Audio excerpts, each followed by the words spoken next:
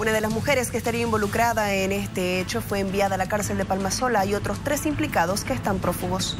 La juez en audiencia de medidas cautelares acaba de disponer la medida excepcional de detención preventiva de la imputada. Luego de una hora de audiencia a puertas cerradas, la juez del Plan 3000 consideró el pedido del Ministerio Público por lo que privó de libertad a una de las supuestas responsables por el delito de lesiones graves seguido de muerte.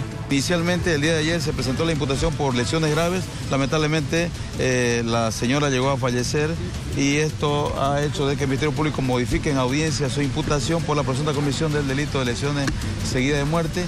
Eh, el Ministerio Público ha fundamentado eh, este hecho, está plenamente esclarecido el hecho. La imputada en su declaración habría confirmado que agredió a la víctima, jalándole los cabellos. Ella ha, admitido de que sí, eh, tuvo un altercado, una agresión física con ella, que le agarró los cabellos y ha indicado quiénes más participaron.